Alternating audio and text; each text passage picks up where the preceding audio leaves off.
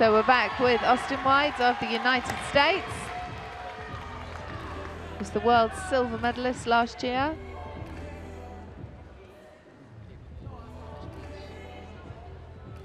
This guy is capable of the hardest pass in the world.